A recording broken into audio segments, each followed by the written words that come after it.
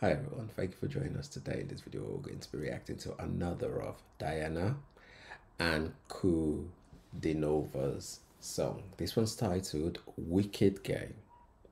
This was a recommendation that came through. I think I've reacted to the previous record, uh, recommendation. This is the third one. And if you do like would like me to react to any, please leave a comment recommendation comment section below and I'll try my best to do that as quickly as possible. All right. If you haven't listened to her before, please let me know what you think at the end of it.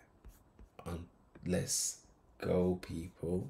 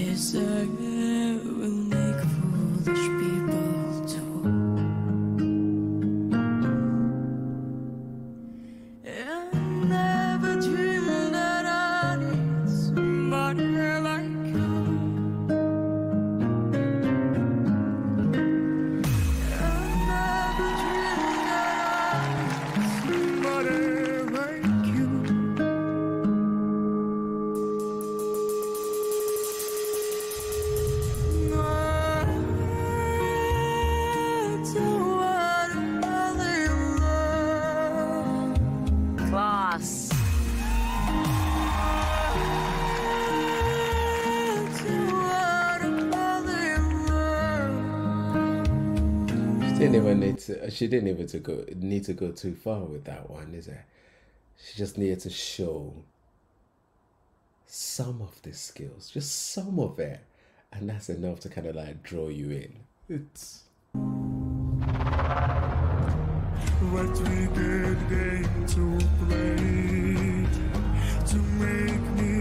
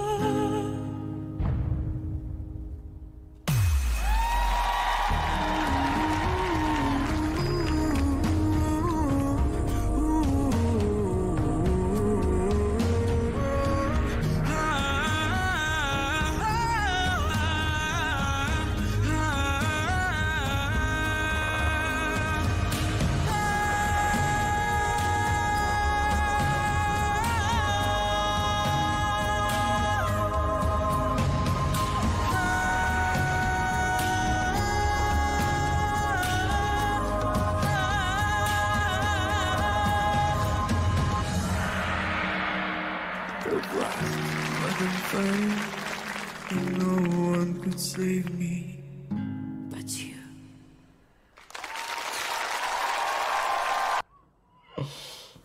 Oh, my days, my days. It just blows your mind every time, this girl. Come on, she just blows your mind every time. I was um reading through the comment and I saw some things um, about this young girl's life. Uh, things I saw were quite disturbing. Uh,